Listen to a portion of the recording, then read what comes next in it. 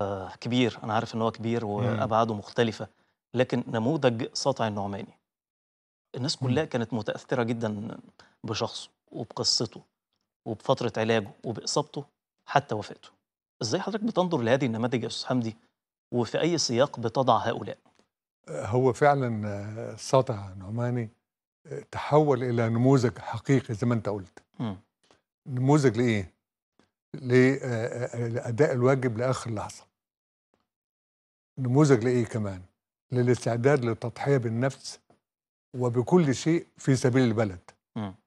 نموذج ليه إن عندما تحدث إصابة وإصابة غير عادية يتحمل ويتماسك ويبقى كل أمله آه، إن هو لو في فرصة يرجع تاني لأداء واجبه. أو إنه لو استشهد فده هيكون آه، أفضل آه، نهاية وأفضل جزاء ليه. كل هذه الصفات تجسد معنى النموذج اللي تمثل في شخصية ساطع آه، النعمان.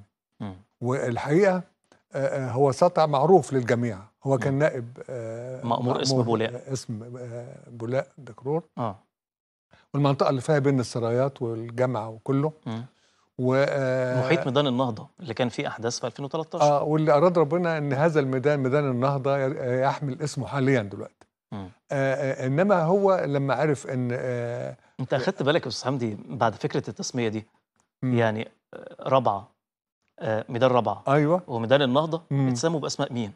آه النائب العام السابق هشام بركات والشهيد ده النعمان بقى م- ملحوظة ذكية جدا آه. منك وده حقيقة مم. وده حقيقة يعني آه آه، فهو الحقيقة لما لما لقى إن آه دخلوا من بين السرايات وبيحاولوا يحتلوا جزء من مبنى جامعة القاهرة راح وتصدى وشاف طبعا إن الجماعة الإرهابية شغالين بالضرب والرصاص للأهالي عشان يقدروا يقتحموا المكان.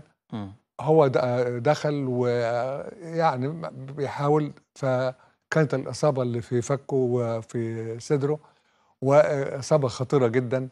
آه، وبعدين يكفي إن هو قعد آه، في آه، رحلة علاج قاسية سنة ونص.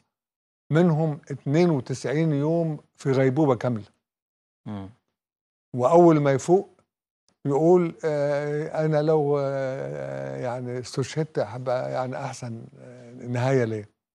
آه، مصر والرئيس عبد الفتاح السيسي بشكل خاص آه، تعلم كيف آه، آه، تقدم العرفان والوفاء لأبطالها آه، اللي بيقدموا هذا النموذج الرائع سواء من رجال الشرطة أو القوات المسلحة أو المواطنين العاديين.